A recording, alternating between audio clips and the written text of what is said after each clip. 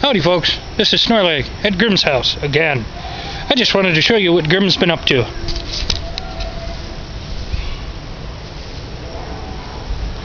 And there's Grim. And there is Grim. Big son bitch, isn't he? Yup. Does that make me a little? Uh, but yeah, he's been doing gardening. Is it sad I can walk? They got lots and lots of tomatoes. But anyways, that's me from Grim's Garden. that that kind of rhymes, doesn't it? That that scares me. Anyways, I'll talk to you folks later. Bye.